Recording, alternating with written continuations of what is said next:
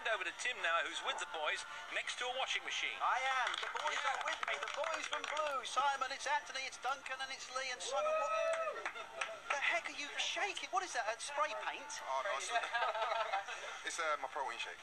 That looks like the pink medicine you used to get when you were a kid. Tim. Is it, is it for bad digestion? Tim, could you start the interview?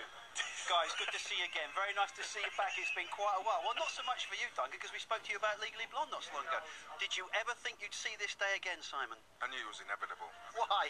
because we always planned to come back for a 10 year anniversary and do something special for it. And um, obviously, because of the West End shows that we all were doing at the time, it just didn't allow us to get together. But now it's perfect timing. Whose idea was it then to get you back together? I mean, how did it all come about, Lee? We talked about it for a long time, but we started recording, and then there was other things that we decided to do, and I had my solo stuff, and Duncan went into Legally Blonde, but we kept on recording.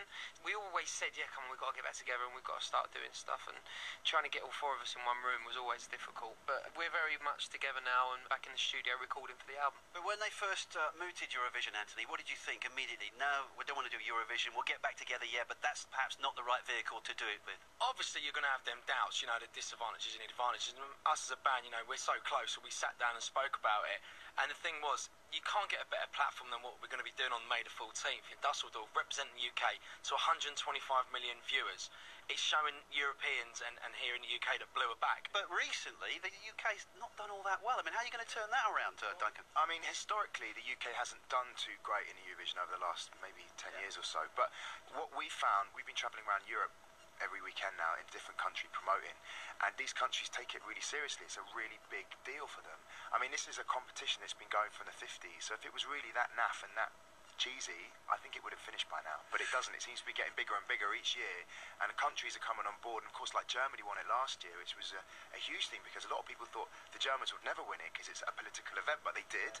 And I think the fact that we're representing the UK this year, there's been a lot more positivity from Europeans that the UK Yeah. taking it seriously. And, and you guys are second favourite, right? We was at 25 to 1 with the bookies about um, what month ago, five weeks ago, um, and now we're 6 to 1. From what we're told, in the ballpark, they normally get it right. Hey, Simon, when was the last time you guys were back together? Two It was five, fi- 2005? something? 2005 is when we did our last tour, yeah. And, Yeah. Um, so it's been, what, six years now? Was it difficult to get that dynamic back, do you think, Duncan? I wouldn't say it was difficult, but what I think it was was it was a big wake up call that we'd been apart for so long and got back together, and it felt like just yesterday we'd split up, but there was this whole gap, and we need to find that blend that we once had. That's been quite an interesting process. But what's been great for us, not only the Eurovision, but the whole fact that we're making this album and that we've worked with some really top producers, and I think everyone's going to be really surprised when they hear that album because it's the best album we've done. If you appear live, will you still do All Rise? Because that's my favourite. We're just about to go today and do a record uh, an acoustic version of All Rise for the single, actually. Oh, yeah. So yeah, we're just doing that today. We're just going to put it down with us just singing a cappella, all four of us doing it. If it all goes well and, and Eurovision goes well and the album goes well, out on tour maybe, Antony? Absolutely, Blue it back for good. We can't wait to be going out there and, and touring again and, and going to Europe and going to Asia and Australia and places like that. That we had a big following, so we can't wait to be going out there next year and, and doing a Blue tour. Definitely, We've got lots of stuff going on. We've got a documentary coming out with the, Saturday. on Sat this Saturday. There, there's so many things that you do with being in this job. There's tours, campaigns that you get to go on, making albums, doing concerts. There's so much to do, and it's a great time to be back. A lot of people think that this interview is being done in the uh, green room. In fact, it's being done in a laundrette right next to a dryer. I'm just going to get the smalls out. Yeah, you can, if you can hear that. Can you hear that dryer now? We can still hear that dryer. It's, it's right next to it.